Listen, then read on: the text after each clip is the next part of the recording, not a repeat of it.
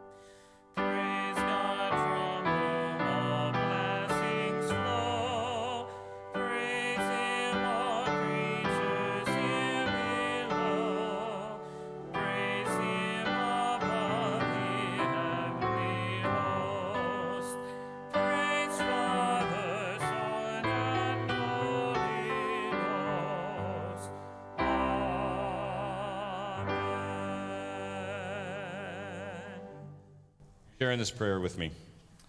God of grace, we hear your call to generous giving and the way you meet our needs each day.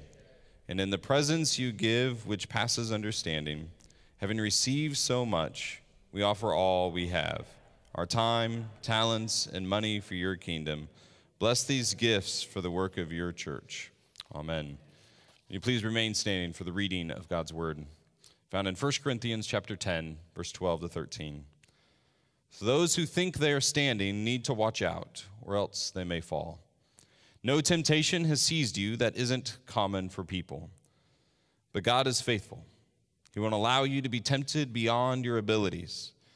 Instead, with the temptation, God will also supply a way out so that you will be able to endure it. Amen. You may be seated.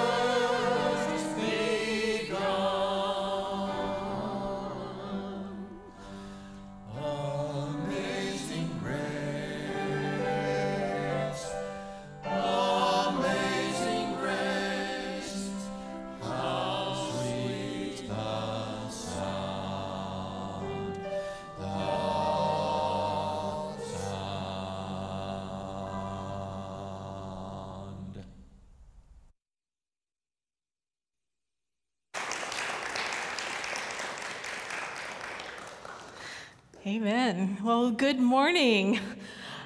I'm Karen Taylor, Pastor of Mission and Discipleship, and I want to add my words of welcome to Pastor Trevor's. It is so good to be in the room with so many of you to see your faces. Uh, it's awesome. Um, and it's also awesome for those who are able to join us on the live stream or in Facebook Live.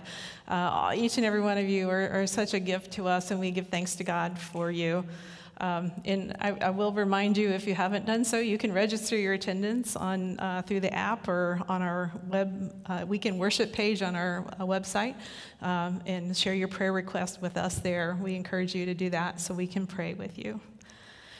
Well, this morning we are continuing in our sermon series, Understanding Evil, where we have been looking at what evil is, the many ways evil manifests itself in our world, and how we as followers of Jesus can respond to that evil. Uh, before we dive into today's topic, would you pray with me? God, in your grace, you've called us together uh, here in the room and virtually uh, in our homes as we watch the live stream. Uh, may you speak to each and every one of us this day as we hear your word, uh, as we consider how to face and overcome temptations that come our way. And so bless now the words of our mouths and the meditations of our hearts that they may be acceptable in your sight. For you, O God, are our rock, you are our strength, you are our Redeemer. And all God's people said, Amen.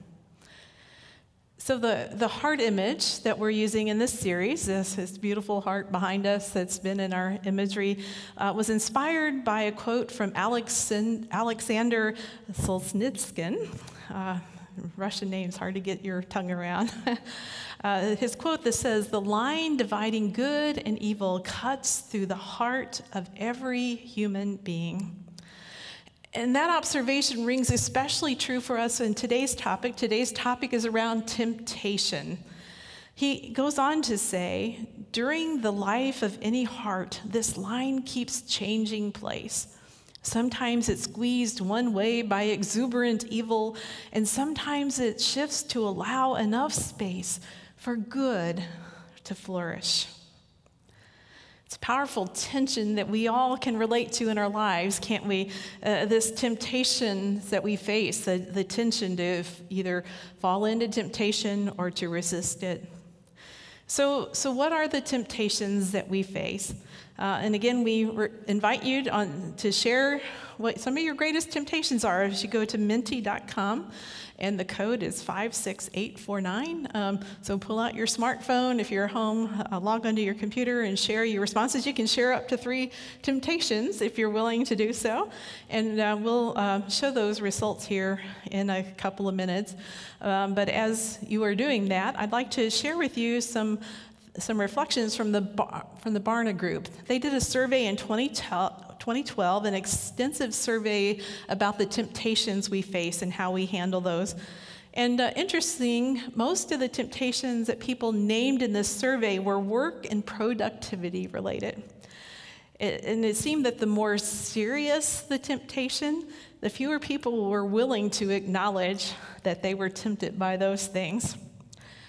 Among the newer type of temptations that people face in our modern age, our technological age, were things like spending too much time on media or going off on someone via text message or email. And then they also named the what we consider traditional types of temptations that we think of when we think of temptation, uh, the temptation to eat too much or spend too much money gossiping, feeling jealousy, viewing pornography, lying or cheating, alcohol or drug abuse, or inappropriate sexual behavior. And then there were some things that were particularly Western in their, um, in their understanding. And so those things were like procrastinating or worrying or being lazy. Any of those ring true to anybody? So, what about us? What are the, what are the temptations that we face? And can we have that um, up there? Um, oh, there we go. So here are some responses from along the way. Um, the, the bigger the word, the more people say those things. So uh, sugar right there in the middle. uh, chocolate, food, greed, lust, uh, envy are some of the big things, and there's smaller things that are too small for me to read from here.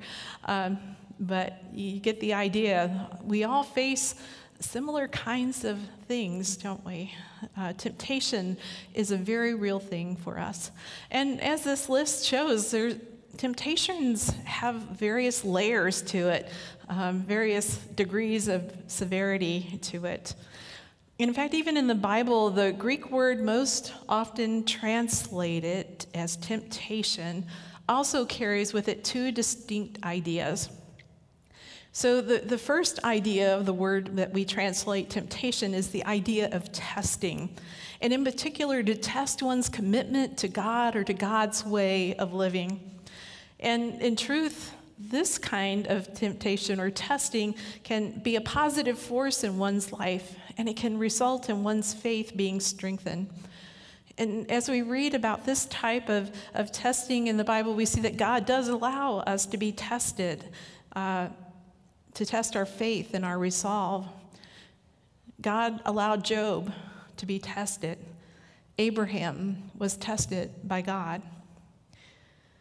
But the second idea of this word that we translate temptation fits more our discussion with evil.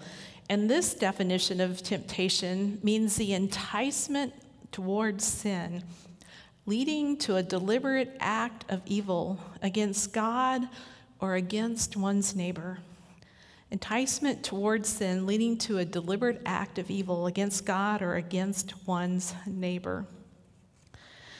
When Eve was tempted by the serpent, it was this type of temptation that she faced. Eve and Adam were enticed by the serpent to distrust God, to distrust God's goodness to them, to distrust God's good intention for their lives. Satan tempted Jesus in the wilderness and Satan enticed Jesus to sin, to disbelieve God's mission and purpose, to not follow the path of being a servant leader, to seize power for himself. So, where do these types of temptations come from? What are their source? The Barna survey asked people why do they give into temptation? And they provide some fascinating responses to that question. And so the number one response was, I'm not really sure why I give in to temptation. Um, we all need to do a little more self reflection, don't we? um, then that was followed by to escape um, the realities of the world um, because I enjoy the temptation. Um, one, to feel less pain, to satisfy expectations of others as a shortcut to success. Not enough willpower. Interestingly enough, only 1% of the people attributed giving into temptation to our sinful nature. So, what is it that the Bible has to say about temptation, the source of our temptations? Well, I think it's important to say, first off, the place where it does not come from. Temptations of this type do not come from God. God is not the source of that type of temptation. James 1:13 says, "No one when tempted should say, I am being tempted by God. For God cannot be tempted by evil, and God himself tempts no one. We know that God does test us or allow us to be tested, but God does not entice us to sin or to deliberate acts of evil. So, if that's the case, where does temptation come from? James 1 14 and 15 goes on to say, But one is tempted by one's own desire being lured and enticed by it. Then, when that desire has conceived, it gives birth to sin, and that sin, when it is fully grown, gives birth to death. So, temptation is something that comes from within us. Paul echoes that idea when he says in Romans 7 So I find as a rule what I want, when I want to do what is good, evil is right there with me. I gladly agree with the law on the inside, but I see a different law at work in my body. It wages war against the law of my mind and takes me a prisoner with the law of sin that is in my body. Paul's reminding us that temptation comes from that broken human nature within us. The Bible also tells us that other people can be a temptation to us. 2 Peter 2 warns uh, the, the Christians to avoid those who are trying to snare followers of Jesus with false teachings. Another source of temptation named in the scriptures is Satan or the devil. The, the scripture attributes temptation to Satan, uh, who we saw tempted Jesus in the wilderness. The serpent who tempted Eve and Adam is identified later in scripture as Satan. And we read in 1 Thessalonians 3 I was worried that the tempter might have tempted you so that our work would have been a waste of time. Another source of temptation named in the scripture is the world or our culture.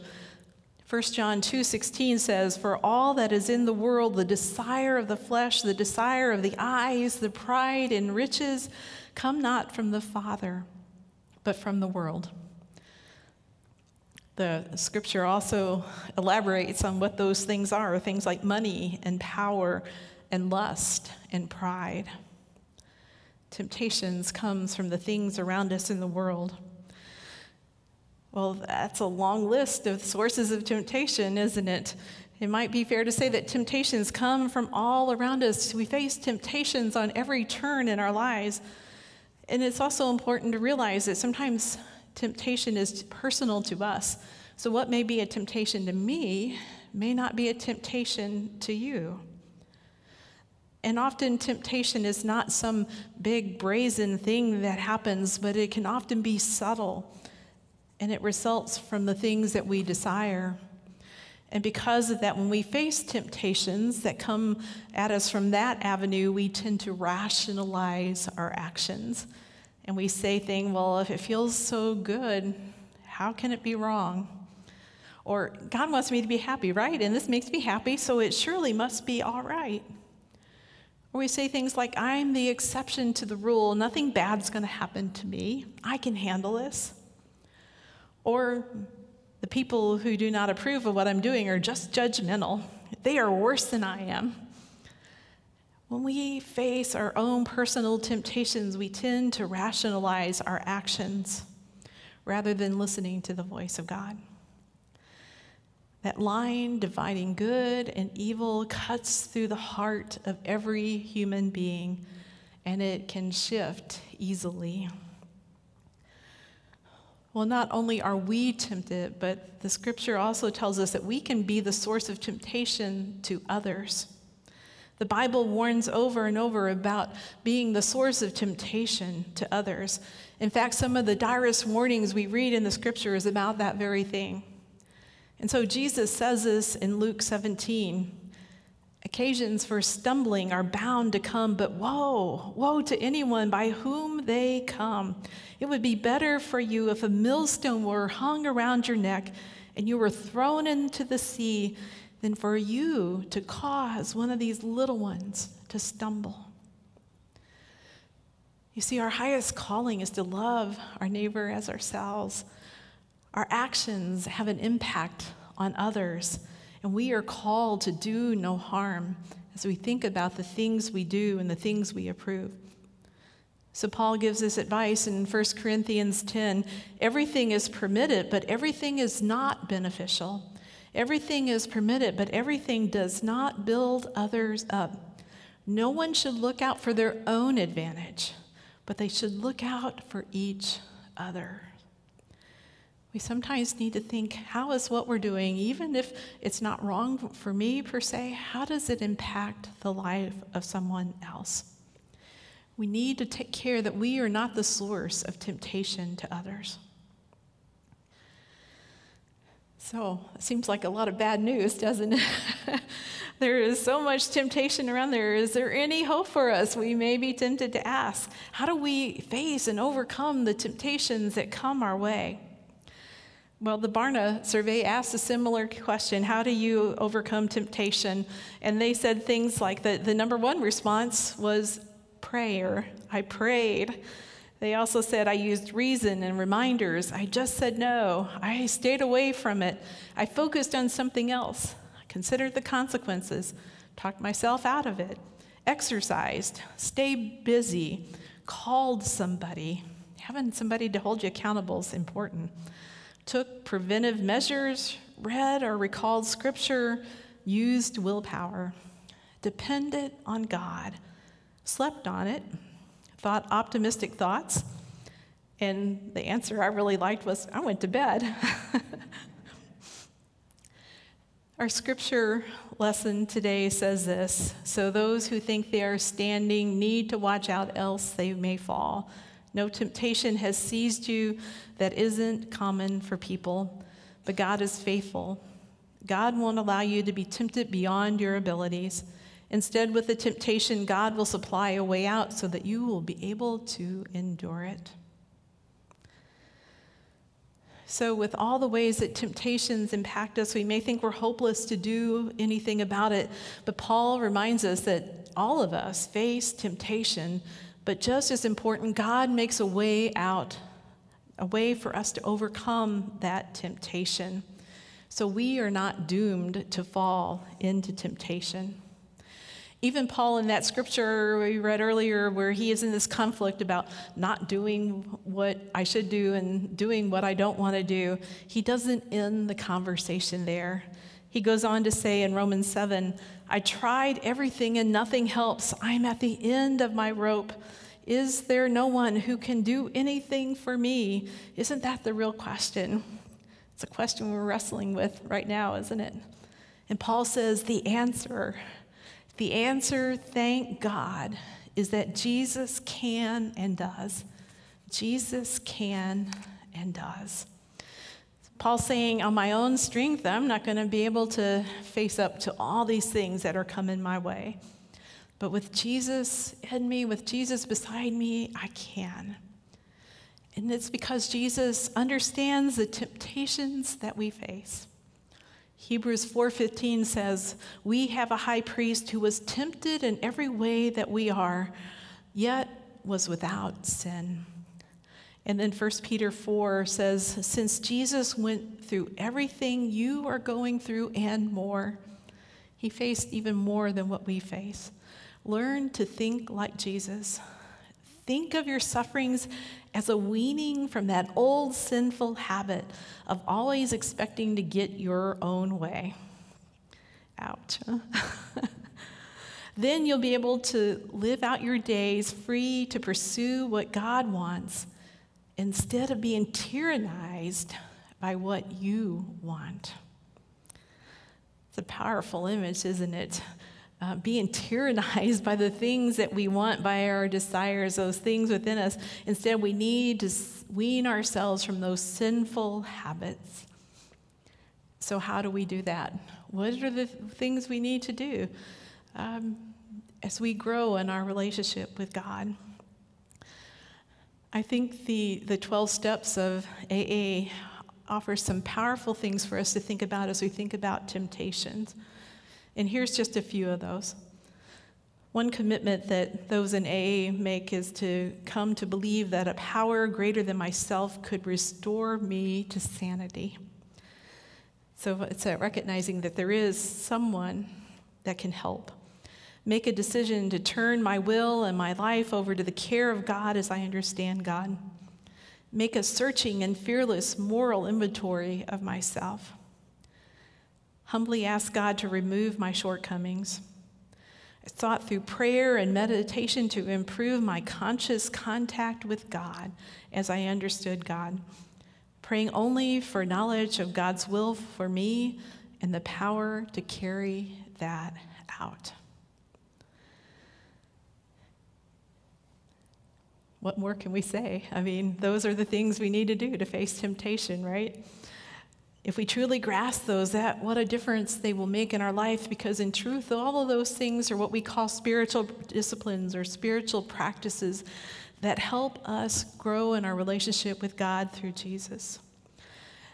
And so those practices and discipline of scripture and prayer and having someone who holds you accountable are things that help us to strengthen our relationship with God and enable us to face temptation.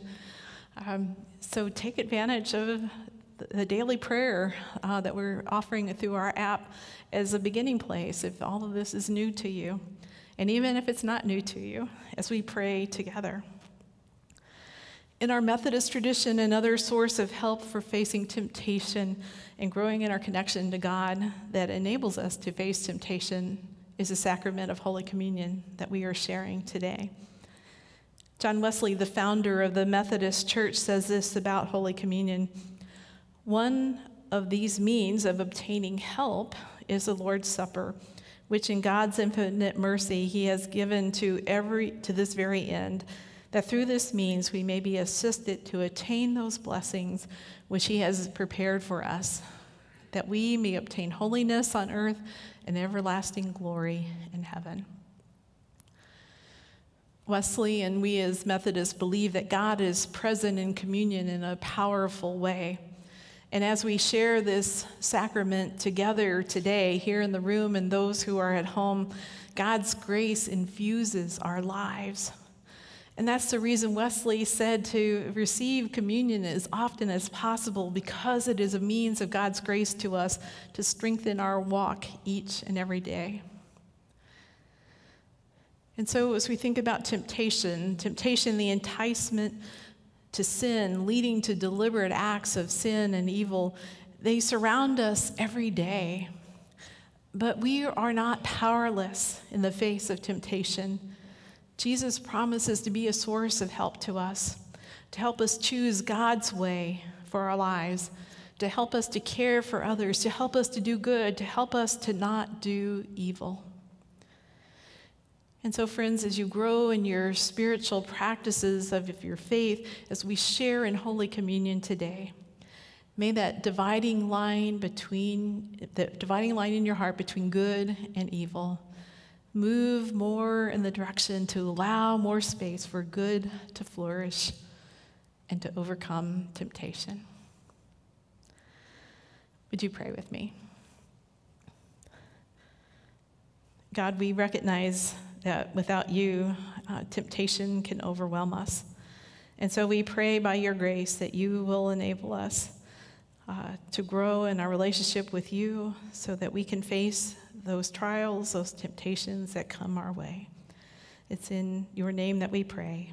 And all the people said, Amen.